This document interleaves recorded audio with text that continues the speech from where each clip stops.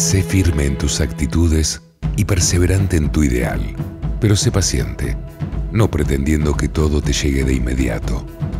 Haz tiempo para todo y todo lo que es tuyo vendrá a tus manos en el momento oportuno. Aprende a esperar el momento exacto para recibir los beneficios que reclamas.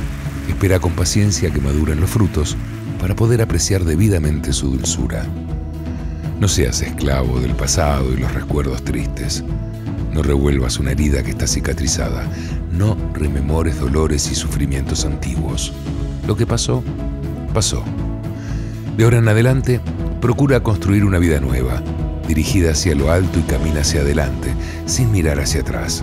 Haz como el sol que nace cada día sin acordarse de la noche que pasó.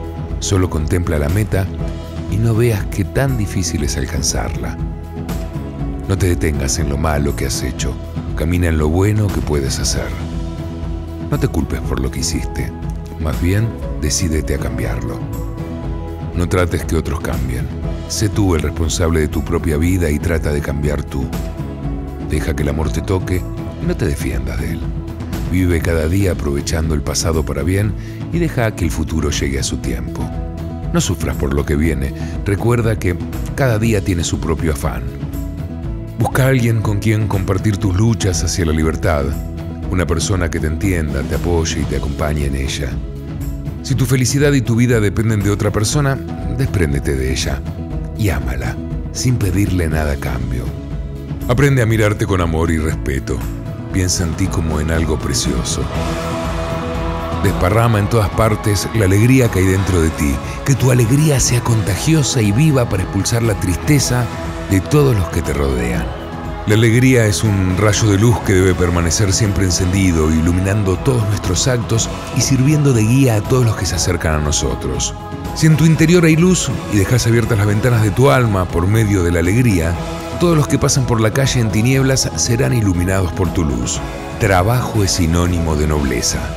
No desprecies el trabajo que te toca realizar en la vida. El trabajo ennoblece a aquellos que lo realizan con entusiasmo y amor. No existen trabajos humildes, solo se distinguen por ser bien o mal realizados.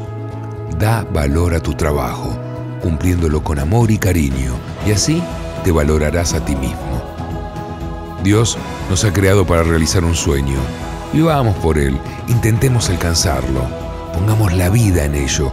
Y si nos damos cuenta de que no podemos, quizás entonces necesitemos hacer un alto en el camino y experimentar un cambio radical en nuestras vidas. Así, con otro aspecto, con otras posibilidades y con la gracia de Dios, lo haremos. No te des por vencido. Piensa que si Dios te ha dado la vida, es porque sabe que tú puedes con ella. El éxito en la vida no se mide por lo que has logrado, sino por los obstáculos que has tenido que enfrentar en el camino. Vos, y solo vos, escoges la manera en que vas a afectar el corazón de otros y esas decisiones son de lo que se trata la vida. Este día sea el mejor día de tu vida.